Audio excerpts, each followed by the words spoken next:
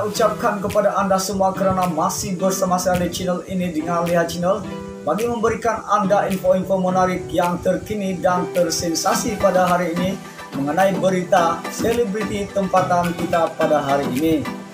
Baiklah guys, jom kita mulakan.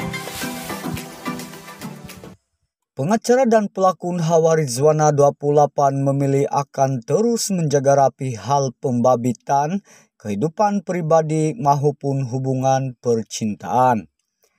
Hawa atau nama sebenarnya Hawa Rizwana Ahmad Rizwan berkata dia memang sentiasa dirundung ketakutan dalam setiap gerak gerinya terutama sekarang namanya semakin dikenali.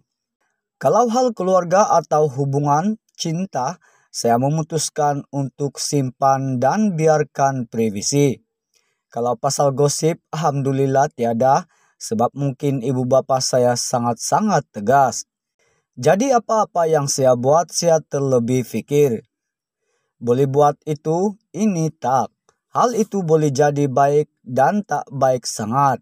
Sebab saya sebelum buat apa-apa jadi takut. Jadi keras, tegang, skema sebab terlalu fikir dan menjaga. Tak apa, saya jadi diri sendiri. Setiap kerja atau apa-apa yang saya buat, saya nak itu pada diri sendiri. Buat saja asal jangan kacau atau buat jahat kat orang lain. Katanya pada sidang media pelancaran Sri Dekedit di sini baru-baru ini. Pengacara Militop itu turut mensyukuri tawaran seni diraihnya semakin rancak dan laluan bergerak anak seni kian dipermudahkan. Saya takut sebenarnya dengan semua rezeki sekarang. Bersyukur tapi pada masa sama takut apa akan jadi seterusnya.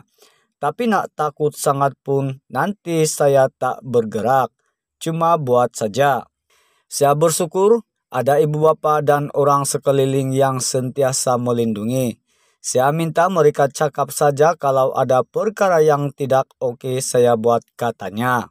Sekian saja dari saya dengan Lihat Channel. Terima kasih kerana sudah bersama saya. Semoga kita diberikan kesehatan dan semoga segala urusan dipermudahkan untuk kita semua.